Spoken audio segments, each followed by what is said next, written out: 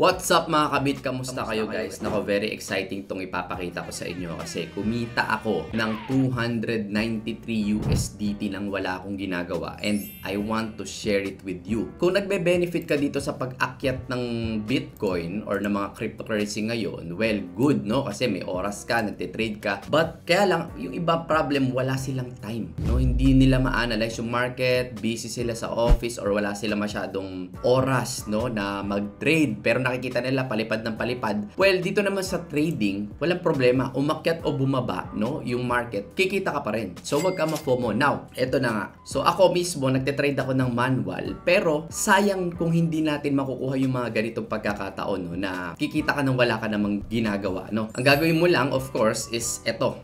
Labo, eh, no? walang ginagawa, tapos may gagawin. Well, technically, sa pagte-trade, wala kang gagawin. Why? Because tingnan nyo maigi, guys, no. Meron dito futures, copy trading, and spot copy trading dito sa OKX. So, maganda, ang unang step, mag, may OKX ka muna para magawa mo to. So, meron link dyan sa description para hindi ka na mahirapan. Register ka lang ng OKX and then, ito yung kinita natin, oh, 293 USDT. So, futures copy trading. Meron ding spot kung gugustuhin mo, but uh, gusto ko sa yung ipakita kung paano ba to? Paano ba namin ginagawa to, no? So, ayan, tingnan natin tong may copies ko. So, kiklik ko to. O, let's say, meron ka ng OKX account, i-verify mo yan, may KYC ka, para malaman nila na ikaw talaga yan, legit ka. So ayan, no, 295, wala akong ginagawa. No, libre lang yan pang gasolina. So kung nagte-trade ka pa ng manual, okay yun. Pero kung wala ka naman time, maganda to. So pwede ka mamili no, ng mga traders na gusto mong kopyahin. But ito yung my copies. Ito yung mga kinakopy ko. So ngayon nga, meron na siya. Oh. Like dito si, si Champion, kinopya ko siya. 91 USDT na yung pinanalo niya. Tapos ito naman si Michael, ayan, nagcopy tayo sa kanya. May 203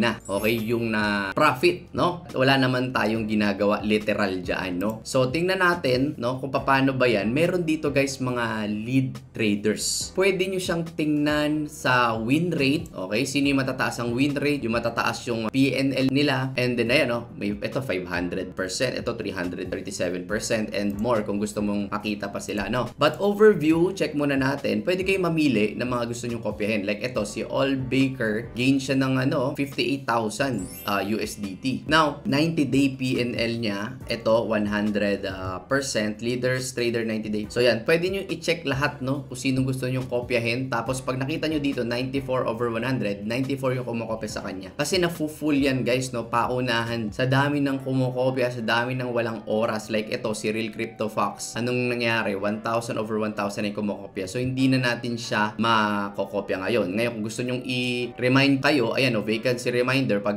pag may open ha, uh, that's the time pwede mo na siyang kopyahin. Ganun lang. Tapos yan, ito copying na nga to, kinokopya ko na siya. So let's say ito, nakita natin na maganda yung kanyang PNL 94, so pwede pa tayong kumapi sa kanya. So just for the sake na mag-example tayo, uh, pwede mo siyang kopyahin. Ayan. So ayan guys, so makikita mo dito na meron din mga kumokopya sa kanya. Copy traders, may kumita ng 2,000, 27, 17. So meron din parang uh, ranking list. So ito guys, example lang no, amount per order, siguro gusto ko uh, at least $50. $50 per trade. Ayan. So, maximum total amount, lagay ko na lang siguro dito, um, alat tayo ng let's say 500. Ayan. Sample lang naman to. So, I have read and agree. Copy na natin siya. Order type amount, fix, copy trade crypto, confirm. Nakopy mo na siya. Ganun lang siya kasimple guys. Tapos, bala ka na. Gawin mo na kung ano activity yung gusto mong gawin. So, share ko lang to sa inyo. Kung trip nyo lang naman, kung hindi, walang problema. Trade at your own risk. Huwag kayong maglalagay ng pera sa mga trading nang hindi nyo kaya mawala ha. Dahil because trading is very risky. Alright? So, trade at your own risk. Thank you so much sa time ninyo. Sana may natulong ako. God bless everyone. Huwag nyo kalimutan mag-register sa OKX dahil may free iPhone. Panoodin nyo yung content ko na yon. God bless.